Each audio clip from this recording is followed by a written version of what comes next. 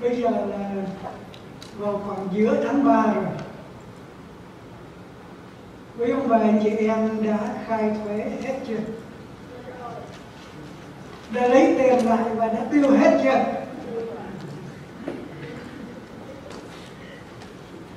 Những người có thể lấy tiền lại thì hầu như là đã nhờ các người khai thuế, khai sớm để họ lấy tiền cho xong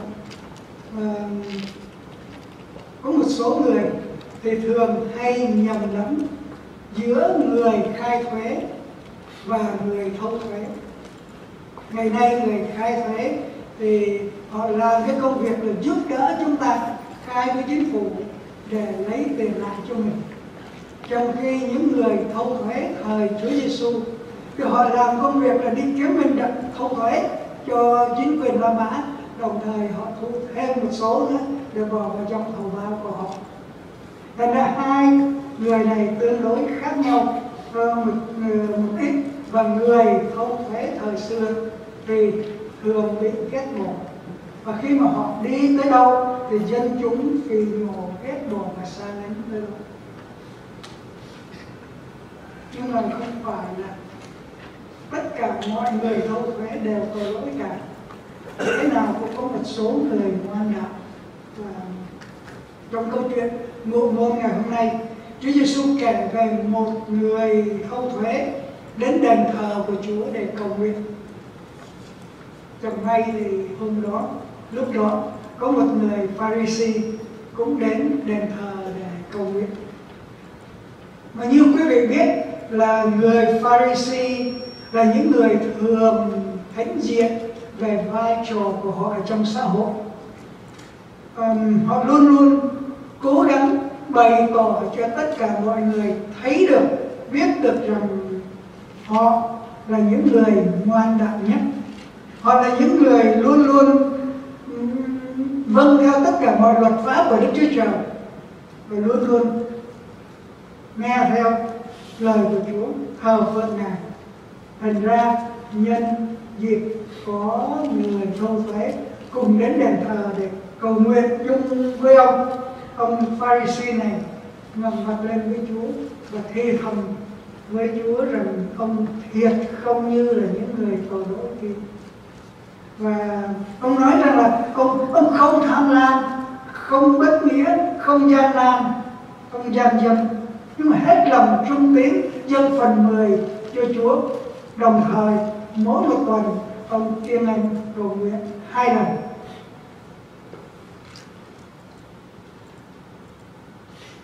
Có bao giờ chúng ta tự nghĩ rằng mình cũng đã làm những công việc giống như là ông này hay là không?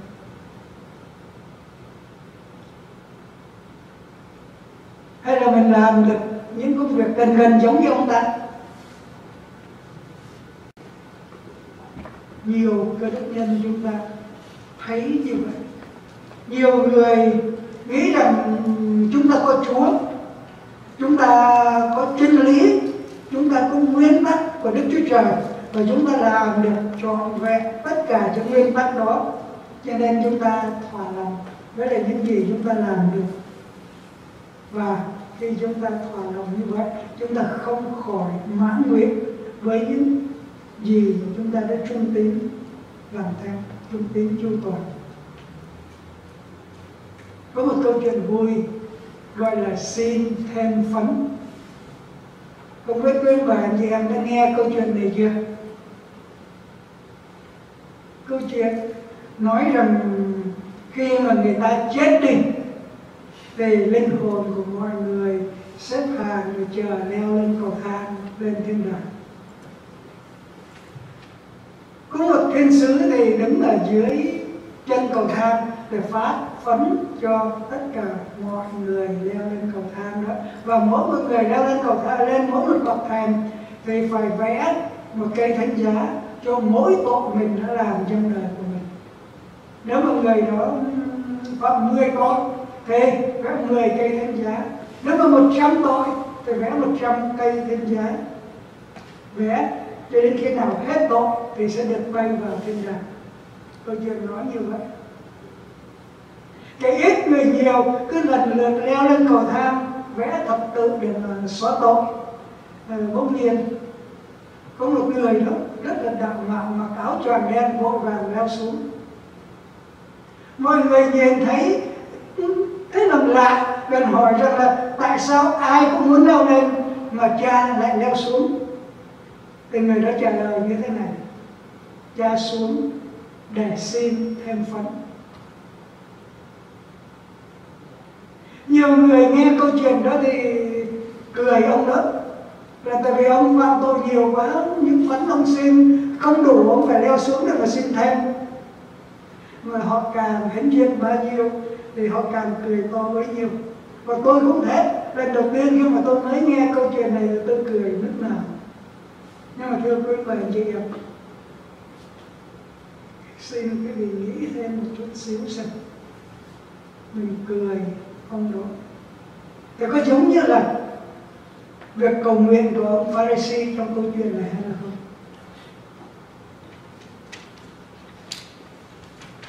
Trong khi người Pharisee hãnh diện cầu nguyện, kể lại công lao của mình thì người thâu thuế lùi thủi đứng ở đằng sau, không biết nói gì hơn. Chỉ đứng ngực, mà rằng lạy đức chúa trời, xin thương xót lấy tôi, vì tôi là kẻ có tội. Để thâu thuế, tuy là những người bị xã hội ruồng bỏ, bị người ta cho vào hàng tội lỗi đây là người bày tỏ cá tính của một người ngoan đạo một ừ, người mà Chúa Giêsu kể là công bình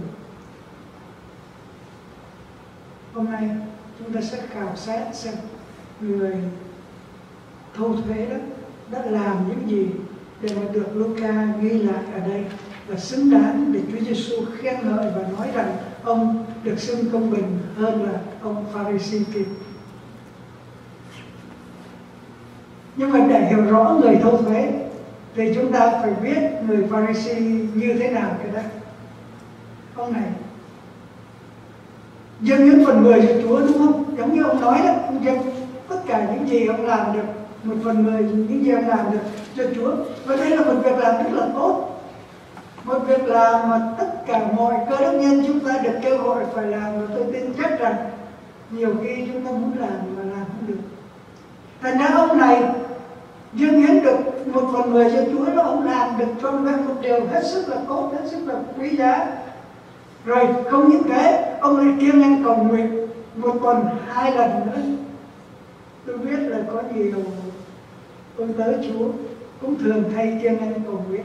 Nhưng mà hầu như mọi người chỉ kiêng ăn cầu nguyện mỗi một khi có những vấn đề gì quan trọng cho cá nhân họ, cho hội thánh, hay là cho các người những người mà họ, họ biết tới để họ cầu nguyện cho thì những người tôi tới Chúa mới kiên ăn để cầu nguyện. Ngoại trừ một số ít người thường xuyên kiên ăn cầu nguyện là để làm gì biết không để giảm thân cả hai việc làm trên tức là dâng phần mười cho Chúa và kiên ăn cầu nguyện đều là những tiêu chuẩn cao của những người tín đồ chân chính đều là những điều mà tất cả các tín đồ chúng ta được kêu gọi phải làm theo. Đều là những tấm gương để những người khác noi theo. Vậy thì tại sao người Pharisee lại không được Chúa? Khen ngợi. Người Pharisee thấy mình làm được điều tốt thì lên mình kiêu ngạo. Chúa Giêsu xưng người thâu thuế là người công bằng. Vì ông này bày tỏ bản chất của một người khiêm nhường. Và hôm nay, trong câu chuyện Chúa Giêsu kể này, tôi muốn nêu ra ba khía cạnh về người khiêm nhường. Mà Chúa Giêsu nói tới. Thứ nhất, người khiêm nhường biết đúng chân lý. Chân lý của đức chúa trời là những ai kiêu ngạo sẽ đặt nặng cá nhân của mình lên trên hết tất cả mọi người khác, mọi thứ khác. Nhiều khi cho mình bằng Chúa hay là hơn Chúa nữa. Trong khi những người khiêm nhường thì luôn luôn tìm kiếm Đức Chúa Trời. Thì những ai tìm kiếm Chúa thì tôn cao Chúa. Và khi mà chúng ta tìm kiếm Chúa, tôn cao Chúa thì chúng ta sẽ được gặp Chúa chúng ta thờ phượng là và chúng ta sẵn lòng làm theo những điều Chúa chỉ dẫn.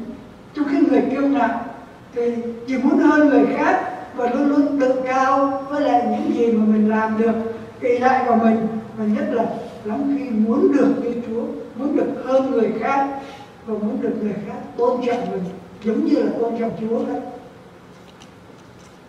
Nếu một cái điều đọc kinh thánh thì sẽ thấy rằng từ sáng thế ký cho đến khải quyền, chỗ nào cũng nói rằng kiêu ngạo là nguồn gốc của tội lỗi.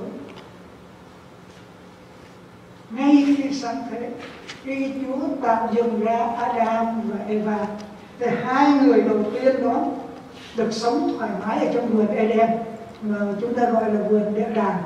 Muốn ăn gì được lấy và không ăn, bất cứ những cây nào ở trong vườn đều được ăn cả, ngoại trừ cây và giữa vườn thì không được ăn. Cái điều là trái cây của cái cây không được ăn đó, mà chúng ta gọi là trái cấm đó, thì làm sao? Ăn vào sẽ biết được điều thiện và điều ác ăn vào sẽ được khôn ngoan giống như là đức chúa trời. Và chính cái điều đó làm cho hai người đầu tiên muốn được giống như chúa. Và vì họ muốn được giống như chúa, cho nên họ hành trái tâm nó ăn trái không được. Ăn. Nghe theo lời dụ dỗ của con rắn mà ăn trái cấm để cho được giống như là đức trích trời. Rồi chúng ta đọc tiếp, thì chúng ta thấy được về câu chuyện tháp ba bên chẳng hạn. Lúc mà loài người, lúc đó sinh sôi này nở ra nhiều rồi, và họ trở nên khôn ngoan, họ làm được nhiều việc, và bây giờ họ muốn xây một cái tháp cho thật cao để họ có thể leo lên tới trời. Quý vị đọc tiếp ở trong kinh thánh thì thấy nói về người dân do thái. Người dân do thái là những người được kể là dòng dõi của Abraham, được đặc ân Chúa ban cho để chiếm lấy đất Canaan làm sản nghiệp cho họ. Những người Do Thái được sinh ra ở trong vòng giao ước với Chúa và được Ngài ban cho luật pháp của Ngài cho nên họ hãnh diện về chủng tộc của họ và họ hãnh diện về những gì họ có. Cho nên họ cố gắng học hỏi và gìn giữ luật pháp của Chúa. Đến đó, rất là nhiều người trở thành những người Pharisee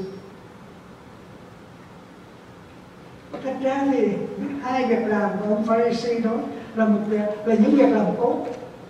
Và đó là điều mà Chúa muốn tất cả con dân của Ngài làm theo có một sự khác biệt là khi người ta tưởng rằng nhờ công sức của người ta mà họ làm được những việc đó, thì họ sẽ hãnh diện với lại những thành quả của họ và họ trở nên kiêu ngạo.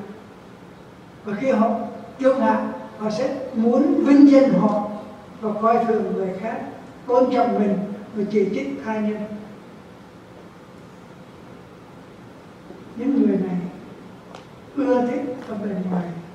Và lâu dần nó sẽ trở thành những người giả hình. Họ thích tốt thì khoe ra mà xấu xa thì đại lý. Đó là chân lý của Đức Chúa Trời. Chân lý của Đức Chúa Trời là việc làm tốt không đưa người ta đến với Chúa. Nhưng mà tấm lòng thành thật, tấm lòng bỏ mình đi để tìm kiếm Chúa thì sẽ được gặp Ngài người khiêm nhường biết được chân lý đó. Người khiêm nhường biết điều đó và làm theo được. Họ không cần phải xây cái tháp ba bên để đi đến Chúa. Họ vẫn có thể lên được thiên đàng. Họ cũng không cần phải leo xuống để mà xin thân phận. Đó là điểm thứ hai tôi nhận xét được ở trong câu chuyện ngụ ngôn của Chúa Giêsu mà đó là người khiêm nhường có đúng thái độ. Thái độ của người khiêm nhường ở đây là đỡ hạ mình xuống. Khi mà Luca diễn tả về thái độ của người thâu thuế thì Chúa Giêsu nói rằng ông đứng xa xa, không dám ngó lên trời, đứng ngực, mà rằng lạy Đức Chúa Trời, xin thương xót lấy tôi, vì tôi là chẳng có tội và đó thật là một thái độ khiêm nhường cho tất cả chúng ta noi theo. Người thô thuế này coi người khác tôn trọng hơn ông ta. Ông không đòi hỏi một chỗ đứng ngang hàng với lại những người khác. Ông đứng là tốt đằng sau ông đứng là xa xa. Khi mà um, lên đền thờ rồi ông ông đứng ở xa xa ông đứng tốt đằng sau. Ông không có dám đến đến gần bàn thờ ở trong bức hình mà quý và anh em coi đó là mô hình về đền thờ Jerusalem xây lần thứ hai. Và sau này thì uh, được um, xây dựng lại vào thời Chúa Giêsu thì đền thờ giống như vậy. Và chung quanh đền thờ có tất cả 13 cái cửa để cho mọi người đi vô bên trong những người dân do thái sẽ được vào bên trong ừ, đền thờ đó và những người ngoại thì phải ở bên ngoài. Và đặc biệt trong 13 cái cửa đó, thì cái hai cái cửa gần nhất ở phía bên ngoài là cái cửa dành cho những người phụ nữ đi vào. Phụ nữ không có được vào các cửa kia cái cửa mà gần bàn thờ nhất thì dành cho các thầy tế lễ. Tại vì các thầy tế lễ là những người quan trọng là những người được tôn trọng nhất, cho nên vào cái cửa gần nhất trong khi người phụ nữ thời đó bị coi thường nhất là thấp nhất là trong xã hội, cho nên phải vào cái cửa xa nhất, tất cả những cái cửa khác. Mọi người nam, do thái đều được phép vào. Vì nam, do thái có thể vào cái cửa của người phụ nữ được, nhưng mà người phụ nữ không thể vào cái cửa của người nam. Và tôi nghĩ rằng ông thâu thuế này vào cái cửa của người phụ nữ, vào cái cửa xa nhất. Tại vì ông cảm thấy rất là khiêm nhường. Ông không có dám đến gần những người khác. Ông đến với Chúa. Ông không có dám nhìn lên Chúa. Tại vì sợ rằng mình tội lỗi mà nhìn thấy Chúa, gặp Chúa Chúa xử phạt mình chăng? Ông không dám nhìn lên Chúa, nhưng ông bày tỏ lòng thành khẩn của ông. Muốn tìm kiếm Chúa bằng cách ông tự đứng ngực của mình. Ông xin tội cùng Chúa. Ông không che đậy đời sống của ông, nhưng mà ông bày tỏ ra và xin ngài tha thứ. Đây là một thái độ hết đáng được khen ngợi. Quý ông bà anh chị khi mà quý vị vào phòng nhóm thì quý vị thường ngồi ở đâu ngồi ở bước đằng sau hay là ngồi phía bên trên? Thật ra thì phòng nhóm của chúng ta đủ rộng và tất cả mọi người ngồi ở đâu đi nữa cũng có thể theo dõi ờ, buổi thờ phượng dễ dàng. Và không có ai, không ưu tiên hơn ai ờ, tùy theo cái chỗ ngồi của mình. Ờ, chỗ nào cũng đều quan trọng như nhau. Nhưng mà nếu mà quý vị mà ngồi ờ, ở hàng ghế bên trên thì tôi nhìn thấy rõ hơn là tại vì Chúa cho tôi hiện nay bị cần thị cho nên ngồi xa quá thì tôi không có thấy, nhìn thấy rõ mặt. Cho nên kính mời quý vị nào là khách của hội thánh thì xin ngồi gần lên trên thì tôi có thể nhận diện được và tôi chào đón đầy đủ. Nhưng mà tất cả mọi chỗ ngồi trong phòng nhóm của chúng ta đều quan trọng như nhau. Đó là điểm thứ hai. Còn tôi nhận xét ở trong câu chuyện ngụ ngôn này. Điểm thứ ba, trong câu chuyện ngụ ngôn là người khiêm nhường, cầu xin đúng điều thiết yếu xin quý ông bà chị em xem lại lời cầu nguyện, lời cầu xin của người thâu thuế xem. Xem lại lời cầu nguyện của ông ta để xem mất bao nhiêu lòng. Câu câu câu cầu nguyện đấy, dài bao nhiêu lòng. Tối ngày hôm qua thì tôi tập cầu nguyện, giống như là ông thu thuế này. Và tôi bấm đồng hồ, xem tôi cầu nguyện câu đó mất bao nhiêu lâu thì tổng cộng mất tất cả là 6 giây đồng hồ thành ra để có thể cầu nguyện suốt một phút đồng hồ. Tôi phải lặp đi lặp lại câu cầu nguyện đó 10 lần.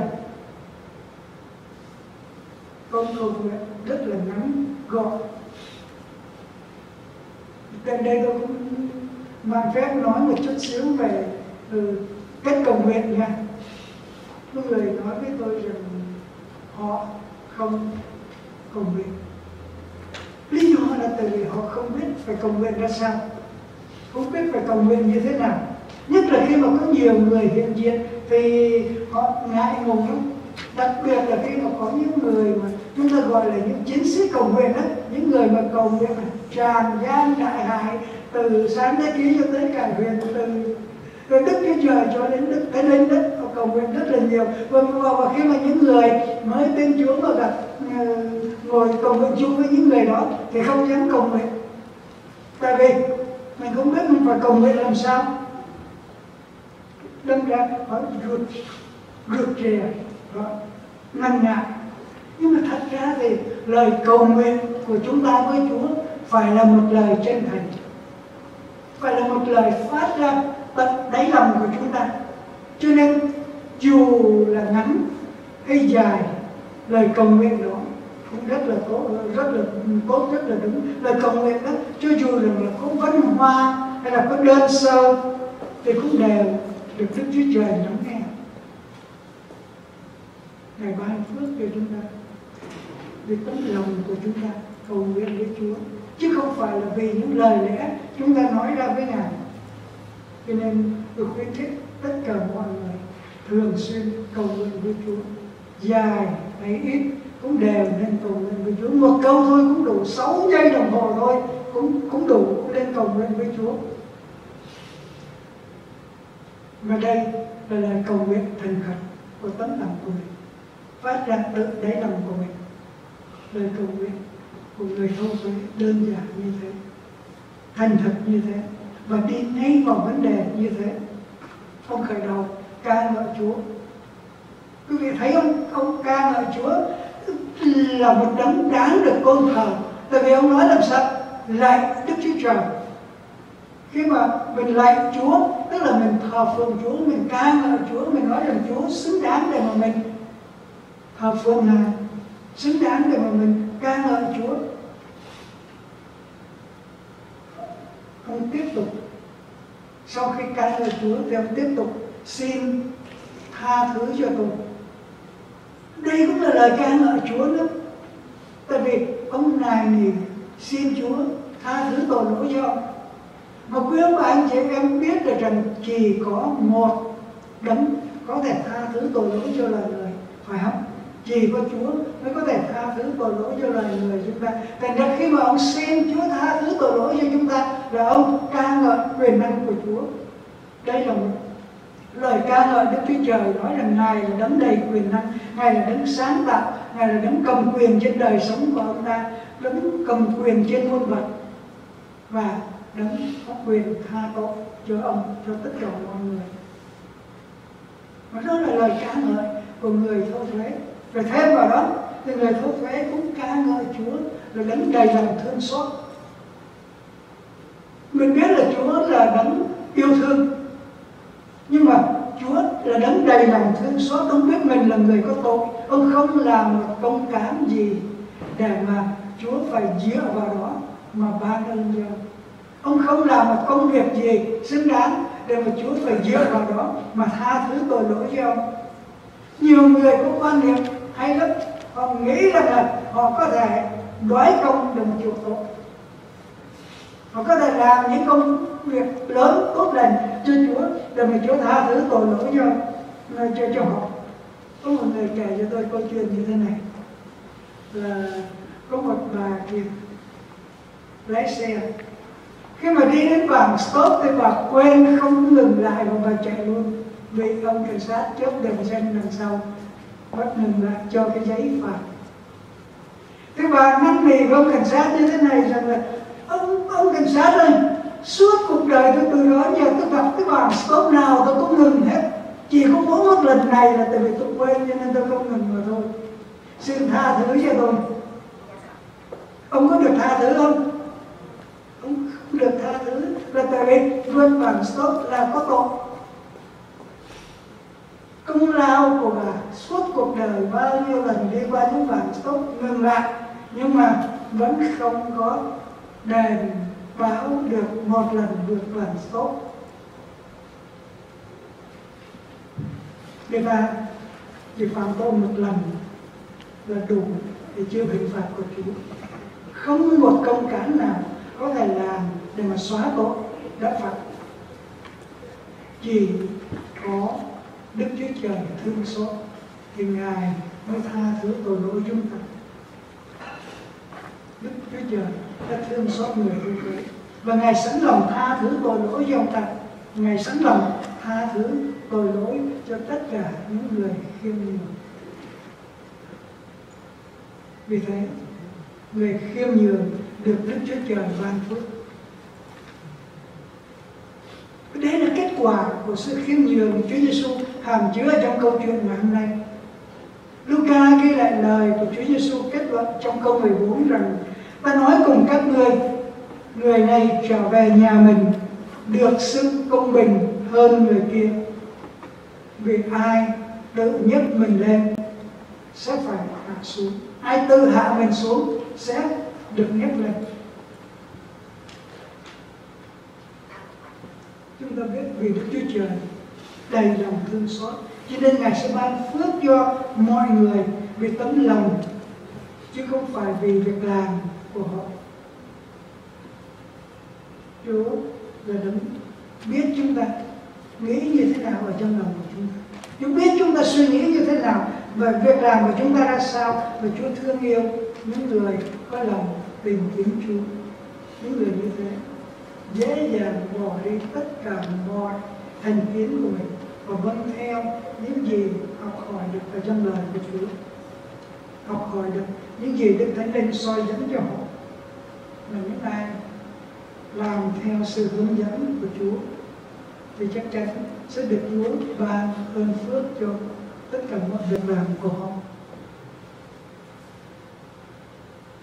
Những người khiêm nhường biết tự hạ mình xuống, biết từ bỏ những tư tưởng mình đã hấp thụ được từ trước ở trong thế gian để mà tiếp nhận những tư tưởng học hỏi được từ trong lời của Chúa, từ trong kinh thánh. Học hỏi được, hấp thụ được sự thông sáng mà Chúa muốn họ có ở trong đời sống của họ.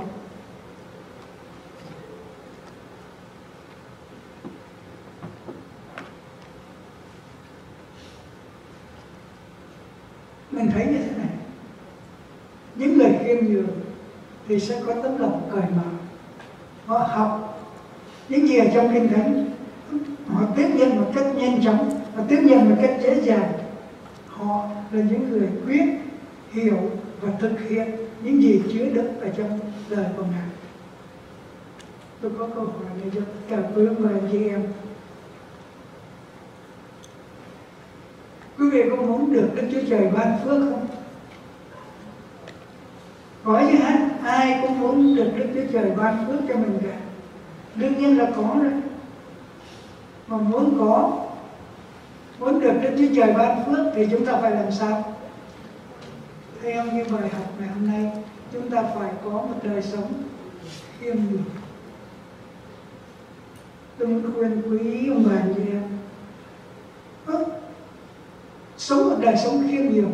Khiêm nhường không có nghĩa là chúng ta gặp ai cũng khung lung cũng nâng cao người đó lên không phải như vậy. Cái đó là bề ngoài.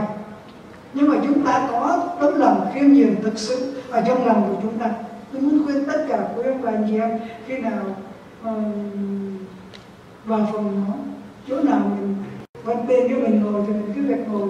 Mình không phải rằng e gì mình nhường cho người này chỗ này mình nhường cho người khác chỗ khác. Tại vì tất cả mọi chỗ đều đẹp lòng Đức Chúa và đất Đức Chúa Trời cả. Nhưng mà tôi muốn khuyên tất cả chúng ta là nên thành thật, yêu quý và tôn trọng tất cả mọi người. Dù là người già hay là người trẻ, dù là người đẹp hay là người xấu, dù là người rất giàu hay là nghèo, cho dù người đó là địa vị cao hay là địa vị thấp ở trong xã hội, chúng ta đều tôn trọng như nhau. Chúng ta cũng đều bày tỏ lòng khiêm nhường của mình. Cho nên điều quan trọng ở đây trong sự khiêm nhường là chúng ta sống thật lòng, chứ không phải chỉ có bề ngoài mà thôi. Và đây, và bí quyết mà tôi học được ở trong kinh thánh. Tôi muốn chia sẻ lại với đây. Và quý bà anh chị em hôm nay, bí quyết này, xin quý vị lắng nghe. Kinh thánh dạy rằng khi chúng ta biết khiêm nhường thì chúng ta có thể thay đổi được sự thế khi chúng ta biết khiêm nhường thì chúng ta có thể thay đổi được sự thế, chúng ta có thể thay đổi được tấm lòng của những người khác. Thật ra không phải là tại vì công lao chúng ta khiêm nhường mà chúng ta thay đổi được người khác hay là thay đổi được sự thế đâu. Nhưng mà là tại vì chúng ta khiêm nhường cho nên Chúa cảm động lòng chúng ta, Chúa cảm động lòng những người khác của Chúa thay đổi sự thế, Chúa thay đổi và tất cả mọi người đều có thể nhận được ơn phước của Chúa. Chúng ta sẽ cảm động tấm lòng của người khác để họ thấy được. Um,